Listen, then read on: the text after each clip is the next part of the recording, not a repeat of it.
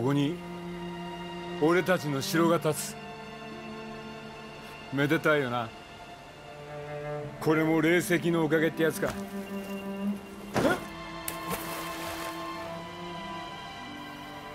でも子にだけはどうも恵まれんようだ。これがあの若め野郎の言ってた夢の代償ってやつなのか？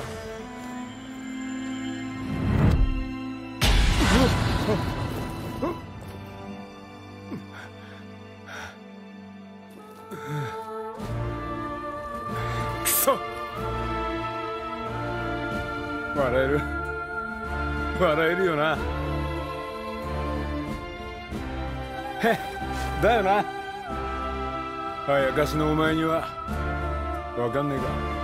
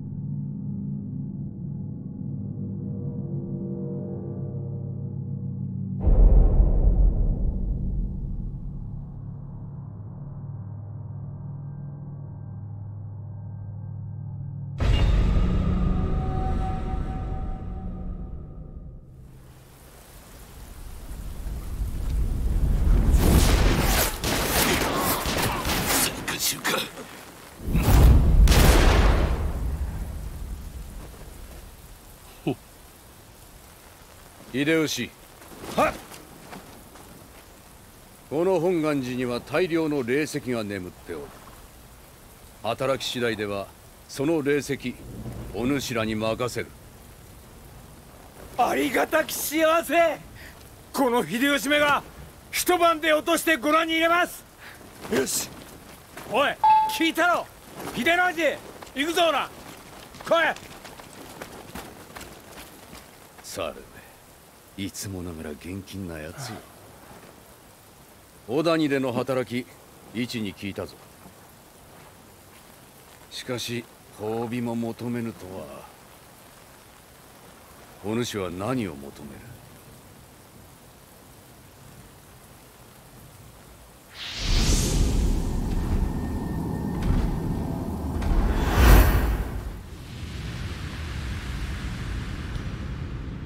神仏あやかし霊石その全てを御してこそあまねく天地に楽土を敷けよひとたび生を受け滅せぬもののあるべきか。しかれどうぬの青き瞳にはその定めに逆らう力ある。万里の波動を超えるがごとくこの信長の野望とともに陣地の果てを超えられよう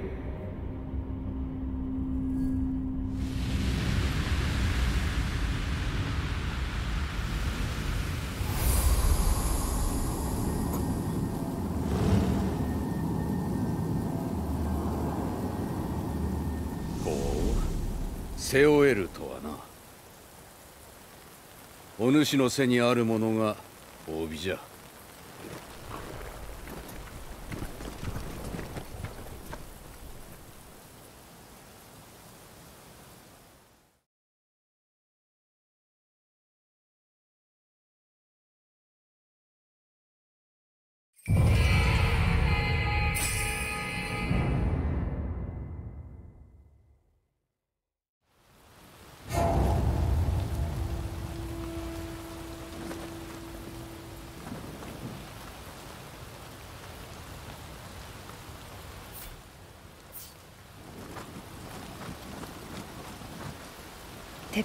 砲を使う雑賀衆手強いわね。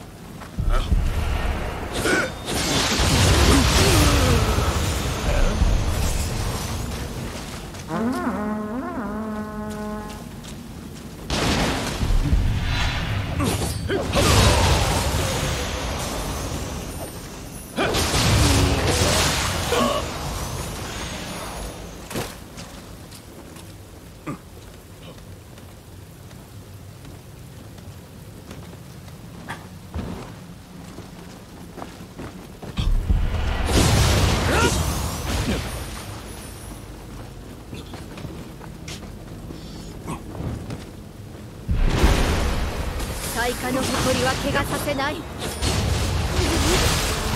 私が撃ち落とされた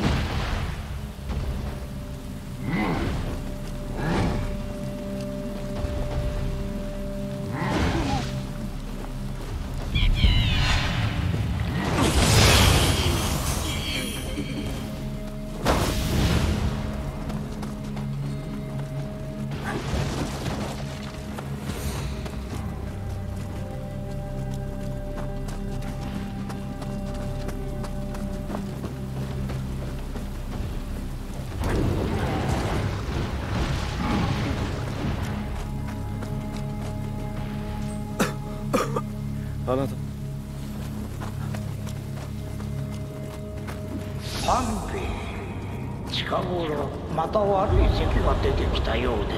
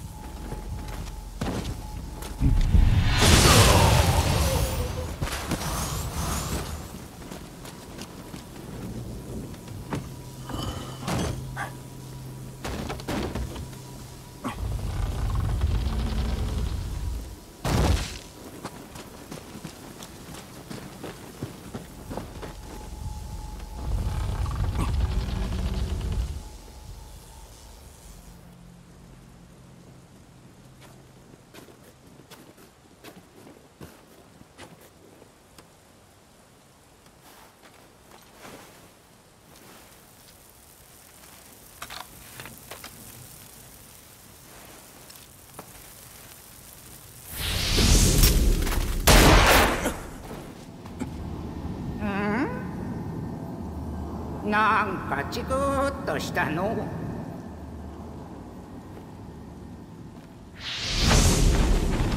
あんたもしょってんだな。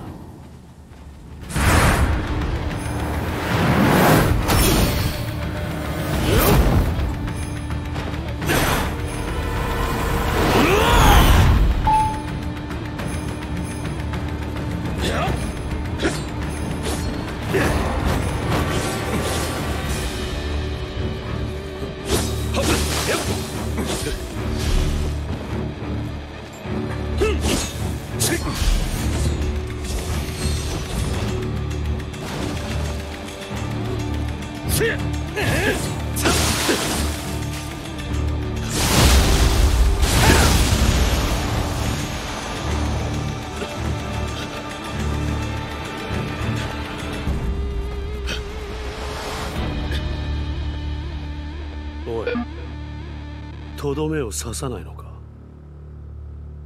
ふ ん面白い。それじゃ遠慮なく引く。あんたも逃げた方がいい。霊石のせいか厄介なのが寄りついちまってね。ここもじきに崩れる。じゃあなあんたとはまたどこかで会いそうだ。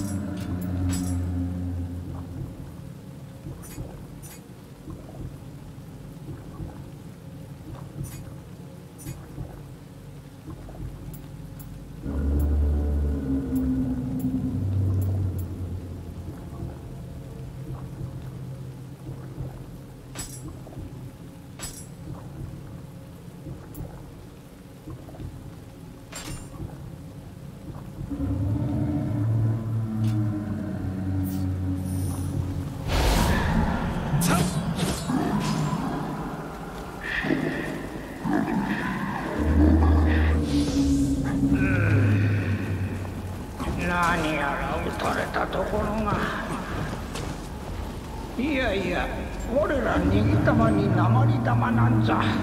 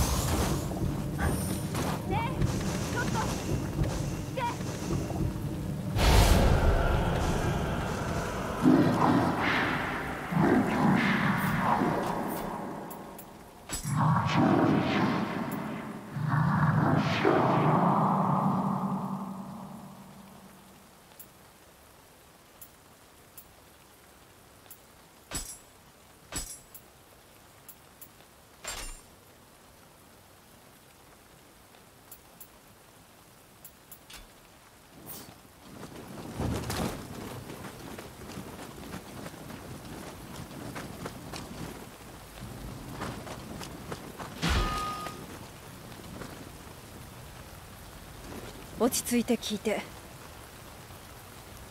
半兵衛が死んだわ。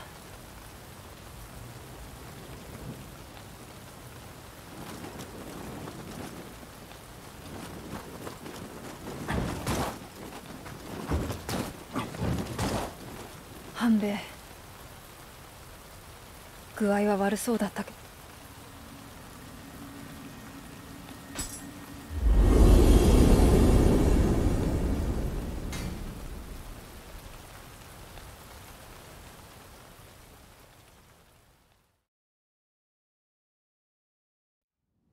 今日での挙兵を助成するなら霊石も欲するままに手に入ろ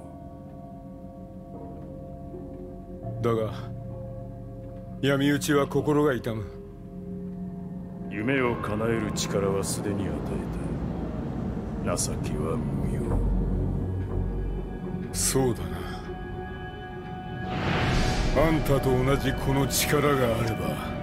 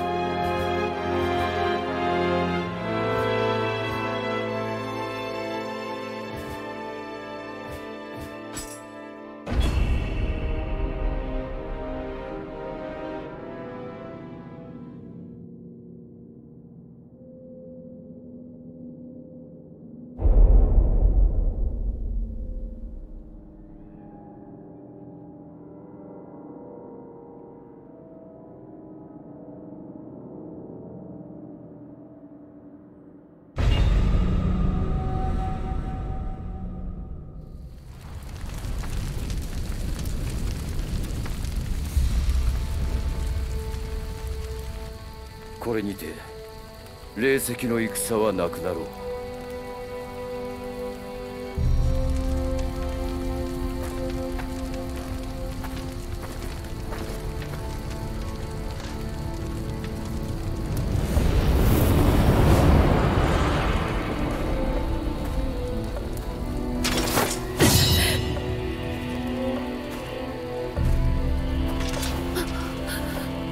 引き分けのない女よ。なぜ逃げぬ？添い遂げてこそ妻の本分ならばもうよい。あとは好きにせえ。安助わしの亡骸は決して渡すでない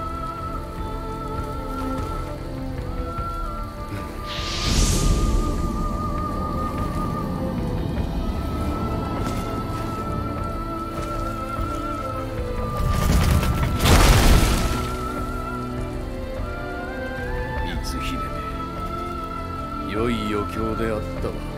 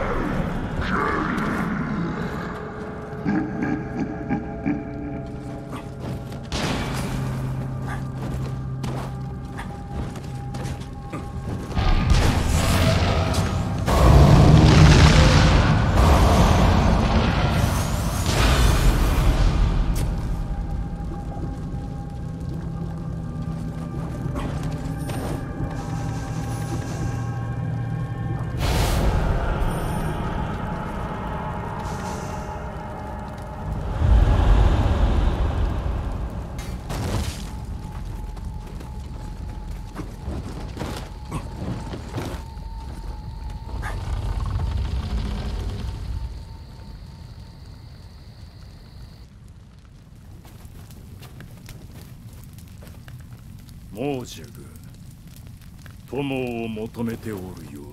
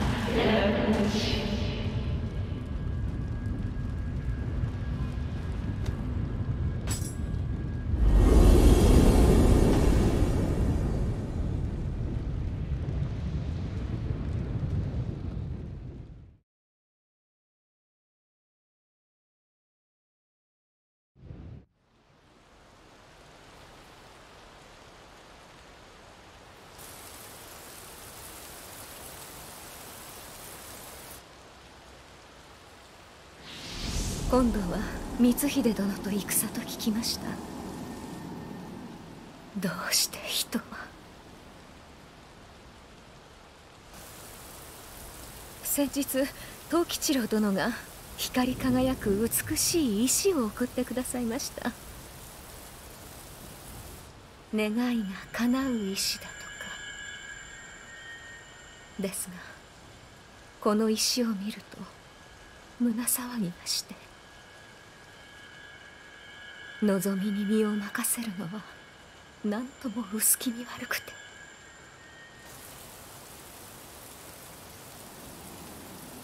争いは終わらない。人が人たる限りはそれが世の断りなのでしょう。しかしあなたの身には人の業さえ超える力が秘められているはず。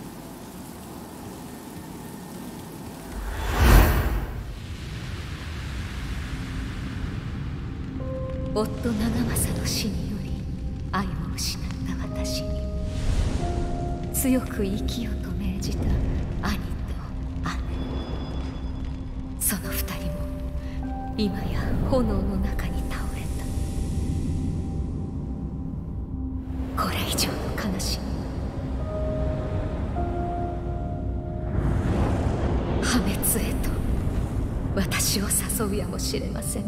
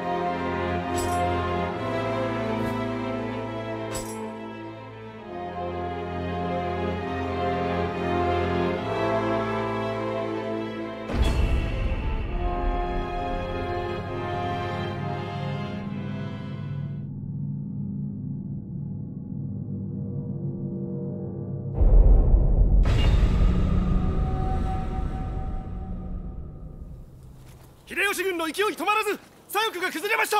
なんと、あの猿めが。ゴズメを出して食い止めよう。はっ。ゲセヌいかにあやかしとはいえよほどの霊石を用いぬ限りこのような勢いは。利光信長様より奪った霊石厳重に保管してやろうな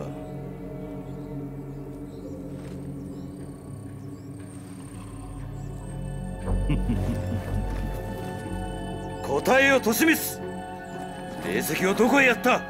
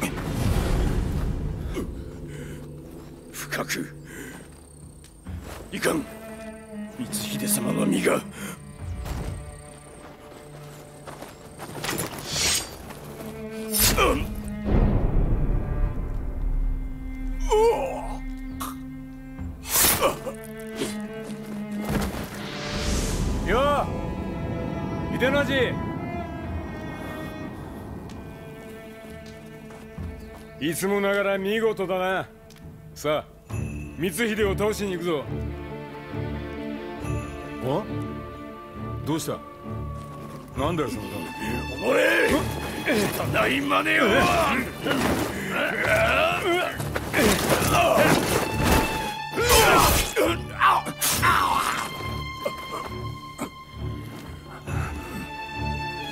光秀様を光秀様を頼む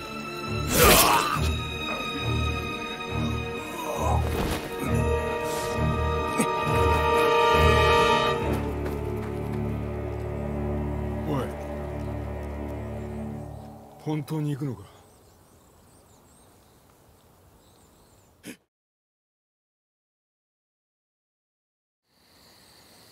我らを口封じのため抹殺する。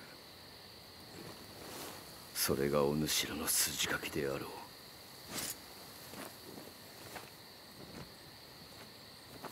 すでに滅びを覚悟した身。今さらお主と争う気はない。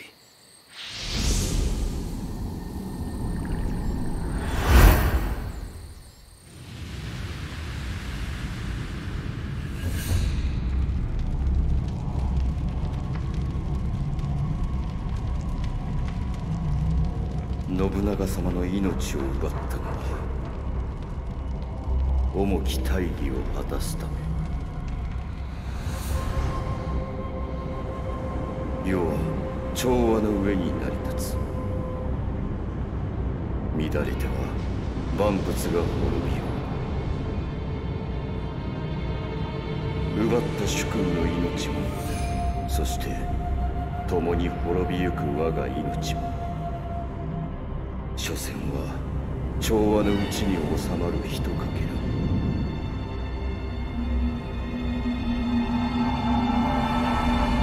口を式は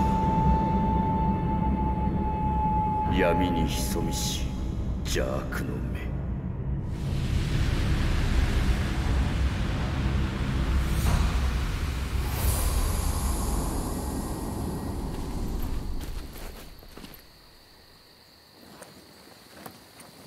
あとは主の意に任せよう。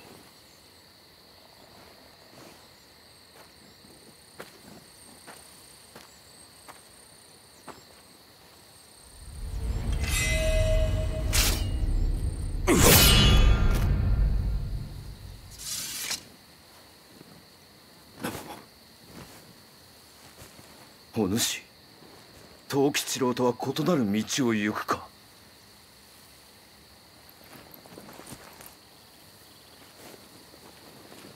まずは逃げるが勝ちかもね。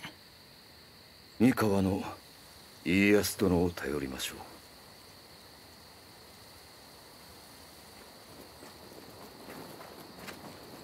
う。何遠慮してんの？行くわよ一緒に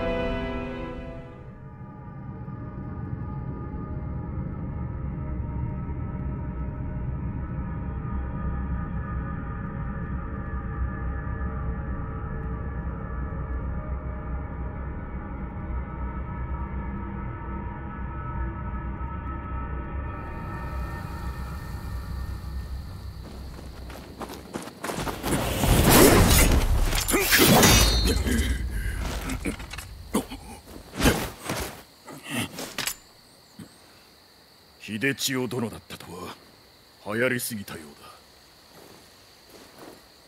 徳川が家臣服部半蔵にござる。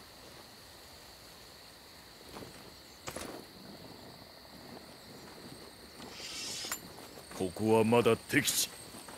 我らは藤吉郎の追っ手を足止めしておるのよ。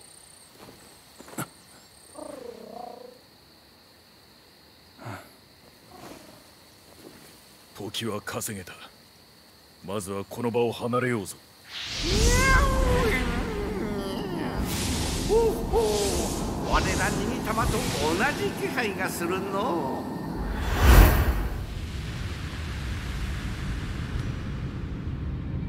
信心より生まれ人に寄り添う我ら逃げ玉そ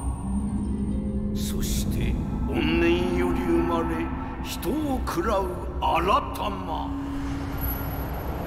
この二つの均衡をなくしては世にある全ての生は成り立たん。長き戦乱で怨念が募り新たまばかりが勢いを増しておる。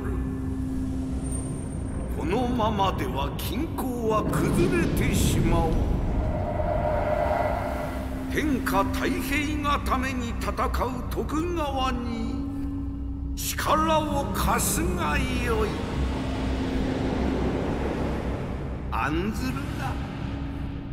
わしがついてやろう。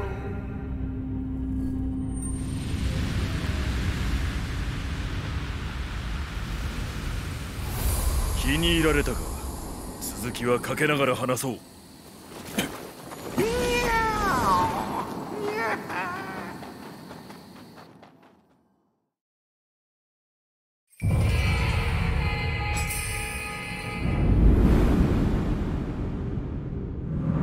ら伊賀衆が手を配り家康様は無事に三河へ戻られた。しかし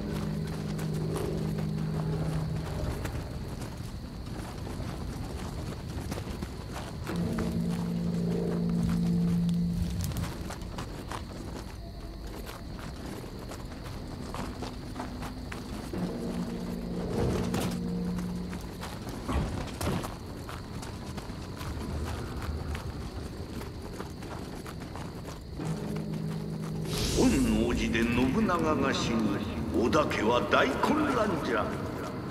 そこから頭角を現したのが霊石を独り占めした大吉。勝家は静ヶ岳で藤吉郎に敗れここ北の少城に立てこもっておる。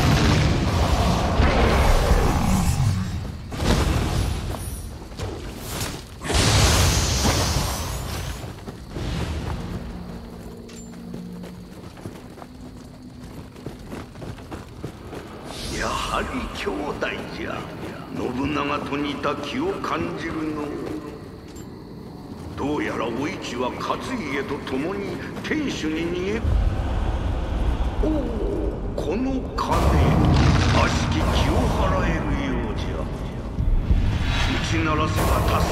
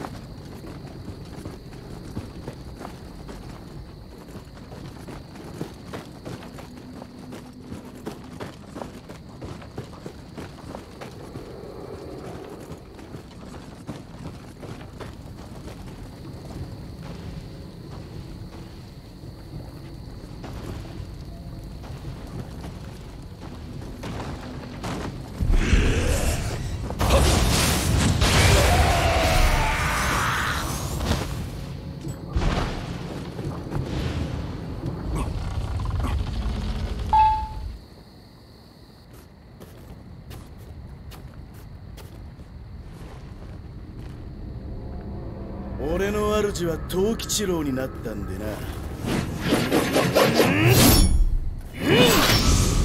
悪いが首をもらう。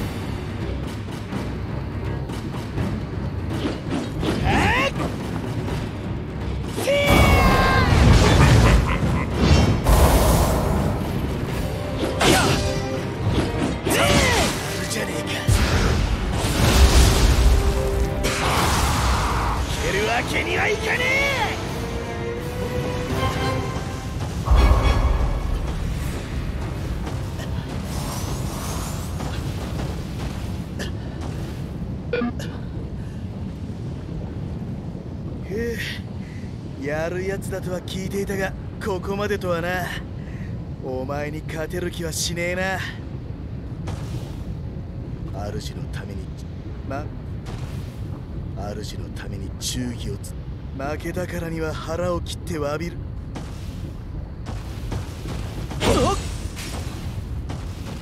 主のために忠負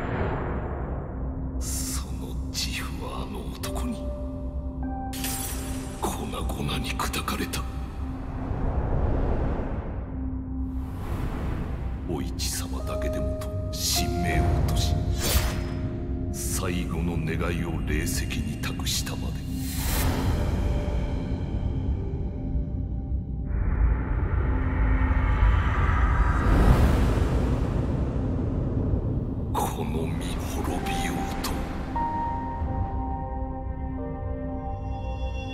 何の未練があろう。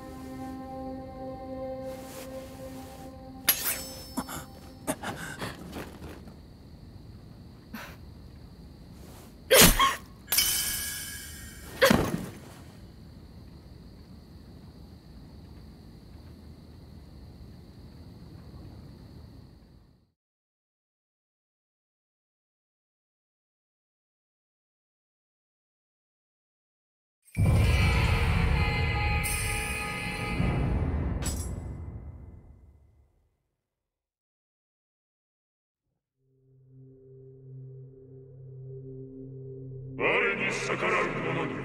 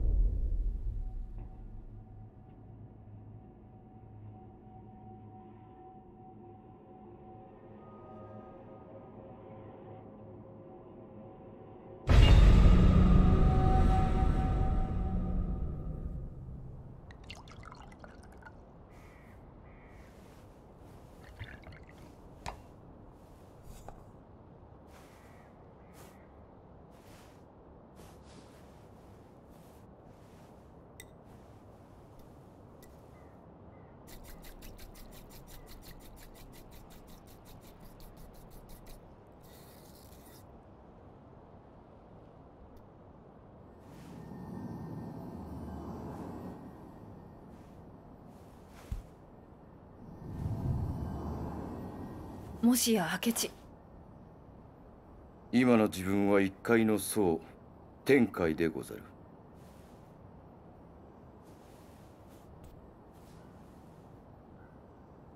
こたびの要件は他ならぬ藤吉郎のことです。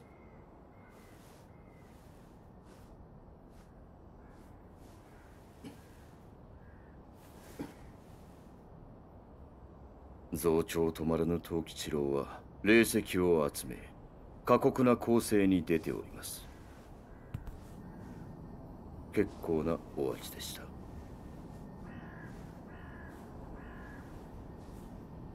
機内と北陸をほぼ制圧。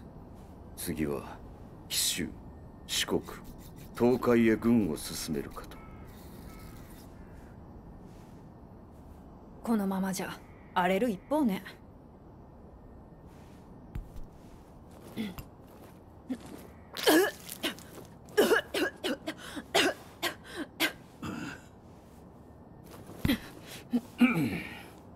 さようこの国は滅ぶやもしれませぬ。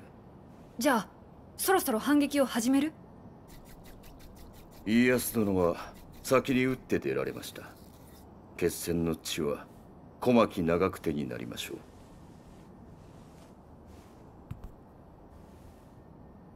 利休と申します。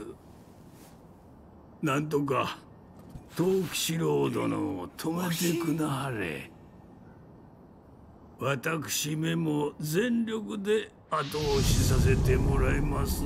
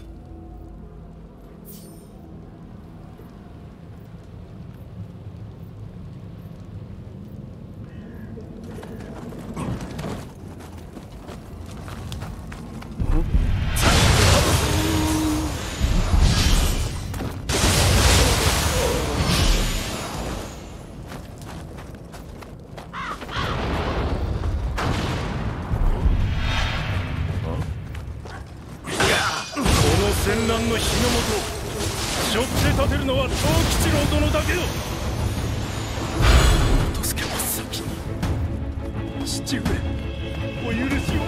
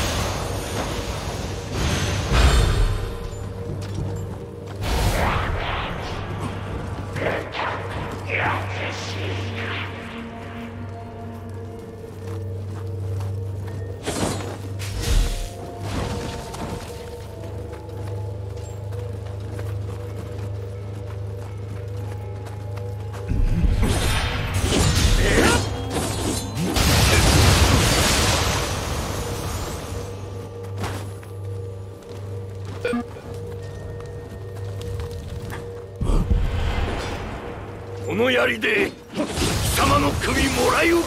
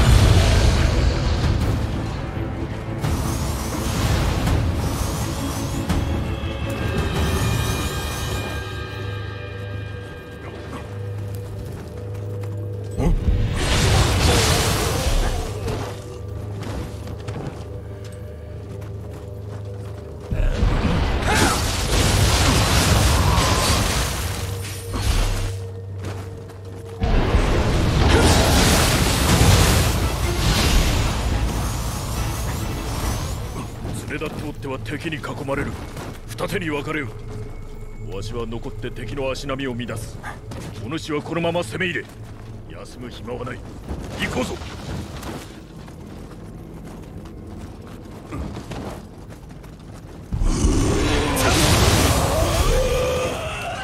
いよいよ怪しげな気が濃くなってきよったの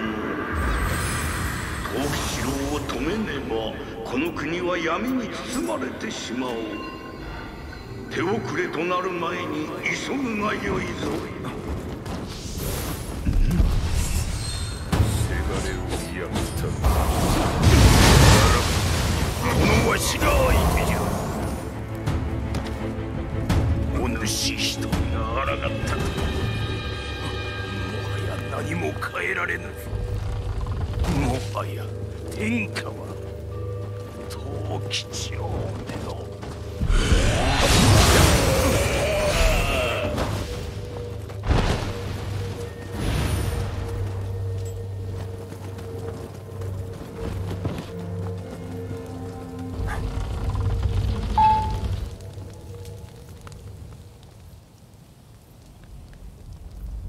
たか。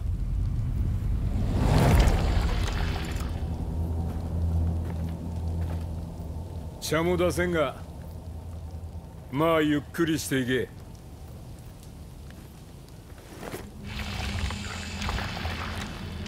お前と俺は二人で秀吉。天下を取ったらこの国を半分やる。どうだ？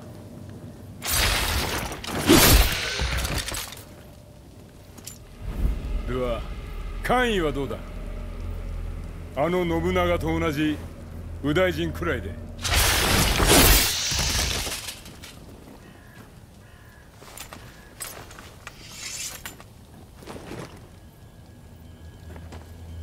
価値がわからんとは所詮あやかしか。じゃあやっぱりこれか？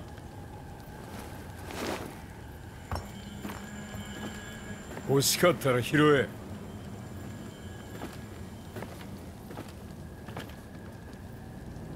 強情なやつだな。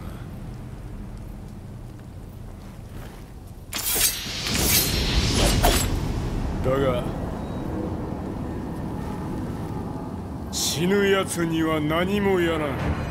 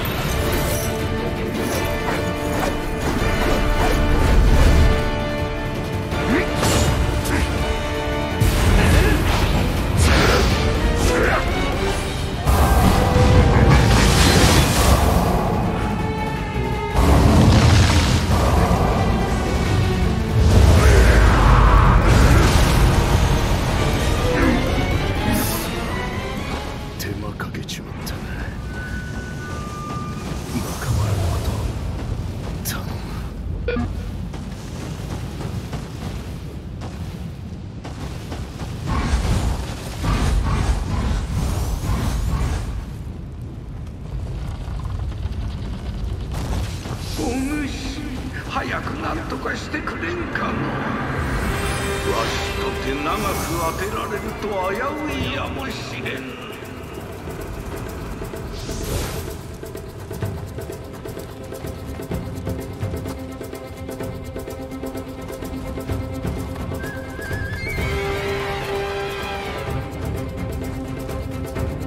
終わったよね。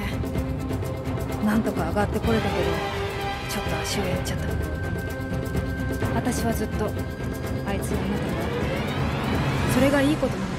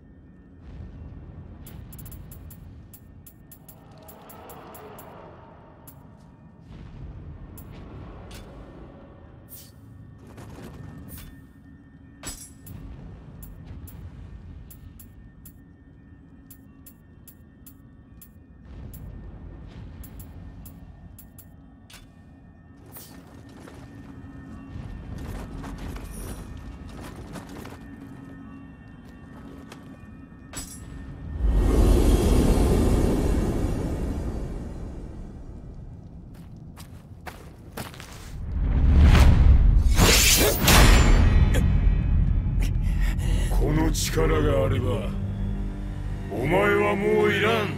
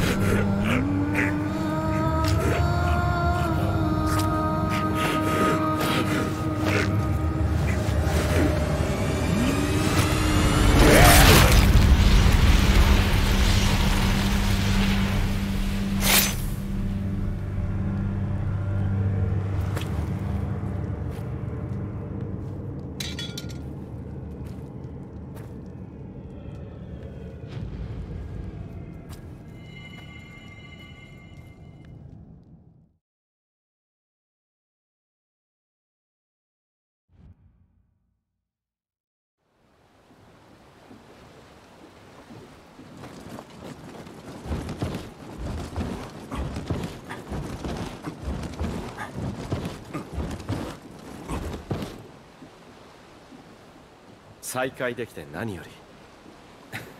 申したでしょうこの身滅びようと最後までと。よく来たの。半兵衛と二人でずっと待っておった。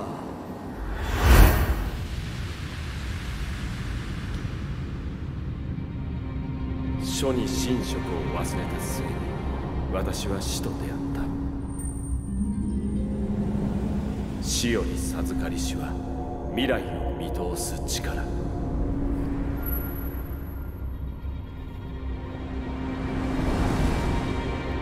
されど見えしは己が死の定め。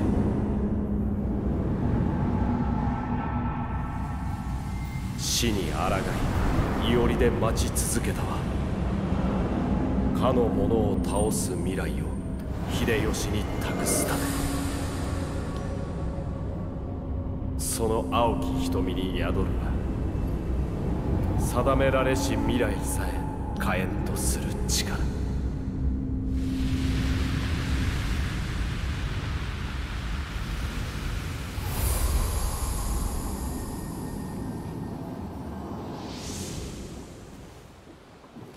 待っていたのは我々だけではありません。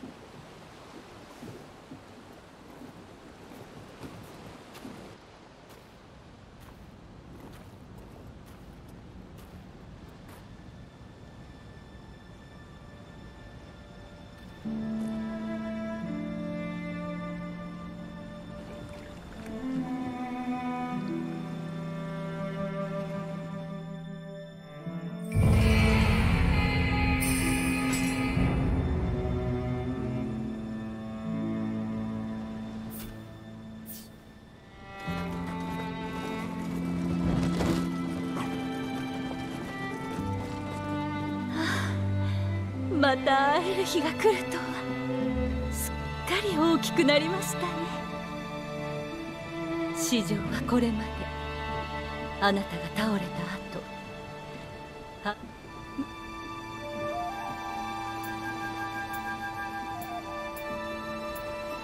かつての友の表変。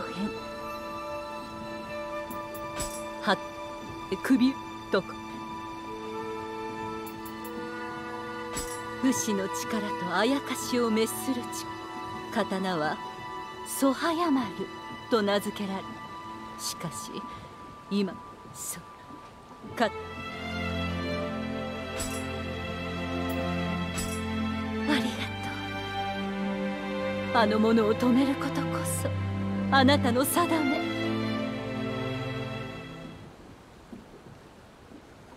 重き定めを。許してください。